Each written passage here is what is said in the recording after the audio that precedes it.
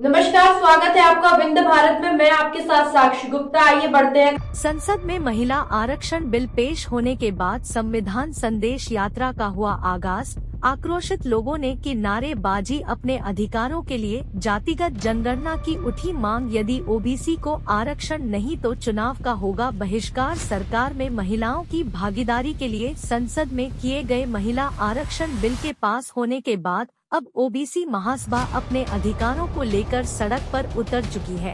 पूरे प्रदेश सहित रीवा ज़िले में आज संविधान संदेश यात्रा निकाली जा रही है, जिसमें ओबीसी महासभा के पदाधिकारी सहित भारी संख्या में लोग सम्मिलित हुए। पदाधिकारी का कहना है कि सदियों की लड़ाई है, खत्म नहीं होगी। ओबीसी देश की सबसे बड़ी कौम अपने अधिकार से वंचित है और वह अपने अधिकार को लेकर रहेगी। संविधान संदेश यात्रा के दौरान मौजूदा सरकार के खिलाफ नारेबाजी करते हुए ओबीसी महासभा ने कहा कि आज बाबा भीमराव अंबेडकर के लिखे संविधान को बचाने की आवश्यकता है, जिसमें सभी समाज को समानता का अधिकार दिया गया है। लेकिन आज इस संविधान की अनदेखी करके देश की सबसे बड़ी काम की उपेक्षा की जा रही है, संविधान संदेश यात्रा में शामिल पदाधिकारी ने कहा कि यदि सरकार डाल नहीं रही है तो जातिगत जनगणना क्यों नहीं करतेगा चुनाव को हटाते हुए पहले जातिगत जनगणना करे, तब उसे ओबीसी की ताकत का पता चलेगा, जी ओबीसी के द्वारा आज। सरकार खड़ी होती है, इस ओबीसी की अपेक्षा की जा रही है, और संविधान की अनदेखी की जा रही है। आपको बता दे कि संविधान संदेश यात्रा ओबीसी महासभा के द्वारा पूरे प्रदेश सहित रीवा ज़िले में निकाली जा रही है। जो सभी विधानसभा क्षेत्र में भ्रमण करेगी। देखिए मैं थोड़ा सा पूर्व में जाना चाहूँगी कि हमारे जो हमारे महापुरुष थे तो हमारे महापुरुषों ने सदियों से लड़ाई लड़ते आए हैं और 75 साल देश की आज़ादी के बाद भी हमारे जो भी नेता नेतृत्व किए लोकसभा के अंदर, उन्होंने भी इस बात को रखा। लेकिन सारे बिल पास हो रहे हैं, लेकिन एक ओबीसी ही ऐसा क्यों है कि जिसको लटका कर रखा गया? देश की सबसे बड़ी कौम, ये ओबीसी। और ओबीसी आज तक अपने हक अधिकार से वंचित है। क्यों? आखिर इतने सारे लोगों के होते हुए भी आखिर ओबीसी क्यों? सबको अपना अधिकार मिल गया। जो जो 10 परसेंट के भागीदार थे, उनको 10 परसेंट दे दिया गया। तो ओबीसी का बिल क्यों अटका हुआ है?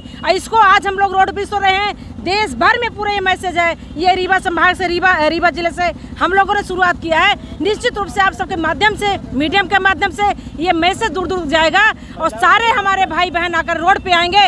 अगर हम ये मानते हैं कि अगर हमारा संविधान, हमारा ये आरक्षण वापस नहीं करते हैं, ये बिल पास नहीं करते हैं तो अब मांगने की ज़रूरत नहीं है। हम छीन के रहेंगे, छीनना पड़ेगा। इसके लिए हमारे बहनों को और हमारे भाइयों को साथ आना पड़ेगा, साथ देना पड़ेगा। क्योंकि बहुत हो गया, मांगते मांगते हम भिखारी नहीं है। हम बहुत भोले भाले हमारे महापुरुष थे, उन्होंने सबका साथ दिया। लेकिन जब हमारी बारी आती है तो सब हाथ ही लेते हैं, अपनी रोटी सेकते हैं। साथियों, मेरा मेरा, मेरी बात कौन करेगा? इसलिए मैं ओबीसी भाइयों और बहनों से, खासकर भाइयों से चूँकि ये निवेदन है कि ज़्यादा से ज़्यादा महिलाओं को बुलाएँ हमारी जनसंख्या बढ़े और अब हमारी चिंता कोई करे न करे हमें अपनी चिंता खुद है हम अपने अधिकार स्वयं लेने के लिए सक्षम हैं और लेकर रहेंगे। ये लड़ाई अब रुकने वाली नहीं है। महिलाओं को आरक्षण मिलने के बाद ही आप लोगों को याद आया कि आप लोगों के ओबीसी को हटाया जा रहा है या फिर उनको पे की जा रही है। नहीं ये ये ये लड़ाई ये लड़ाई सदियों से चली आ रही है हमेशा रही है। ये ज़रूर है कि ओबीसी ऐसा समाज है जो सबका साथ दिया है, लेकिन ओबीसी की जब बारी आती है तो ये कह के गुमराह कर दिया जाता है कि ओबीसी की आज बात आई, इसलिए रोड पे आए। हम हमेशा से रोड पे रहे लेकिन हम भोले वाले समाज हैं, हम किसान कौम के लोग हैं तो हम अपने किसानी पर डिपेंडेंट थे। लेकिन आज के डेट में, आज मैं कह रही हूँ कि राजनीति की है, समाज की है, हमें अपना हद, अधिकार चाहिए। आप जनगणना करवाओ। अगर आपको डर है तो आप जनगणना करवा दे। दूध को दूध, पानी के पानी हो जाएगा। क्यों नहीं करवाते हैं? अगर आप हमारा अधिकार नहीं दे सकते हैं, डर लगता है, बिल पास करने डर लगता है तो ओबीसी जनगणना करवाओ, वरना यह चुनाव खारिज करो। और चुनाव से पहले ओबीसी जनगणना हो जानी चाहिए क्या ऐसी ऐसी शक्ति है सरकार के पास? क्यों डरती है ओबीसी से? अभी तक डरती आ रही है। लेकिन मैं उस उन सदन में बैठे हुए, उन ओबीसी एस सी सदस्यों से मैं निवेदन करना चाहती हूँ कि आप लोग सर आना चाहिए। आप लोग ये बात क्यों उठाते हैं? बार बार चुनाव हो रहे हैं। ओबीसी के इस रोड पे बात रह के समाप्त हो जाती है। आखिर कब तक समाप्त होती जाएगी? इस बात को अब करने की ज़रूरत नहीं है लेने की ज़रूरत है। अगर सरकार नहीं देती है तो हम लोगों को छीनना है। अगर नहीं देती है हम वोट का बहिष्कार करेंगे चुनाव का बहिष्कार करेंगे। ओबीसी कोई वोट नहीं डालने जाएगा यही इसका चारा है। आपने यात्रा की शुरुआत की संविधान ये यात्रा की तो है आज हमने संविधान संदेश यात्रा शुरू की है। विंध्य के रीवा संभाग में 22 तारीख को हमारी यात्रा विंध्य के शहडोल संभाग में प्रारंभ हो चुकी है।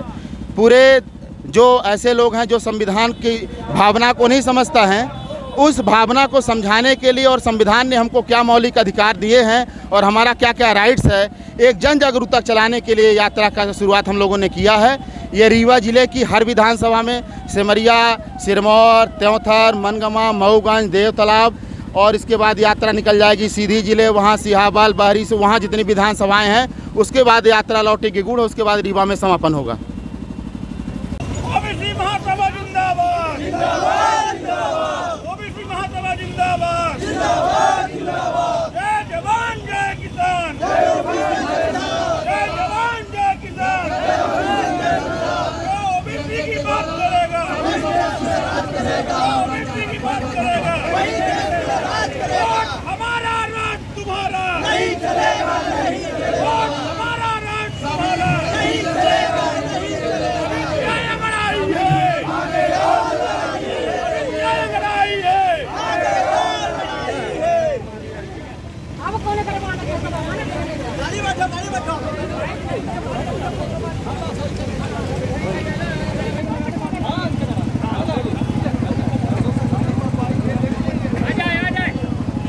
सभी फोर व्हीलर किनारे करें सभी किनारे